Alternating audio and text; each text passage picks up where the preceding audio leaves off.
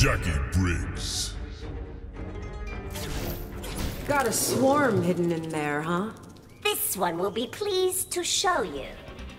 Let's keep it locked up, shall we?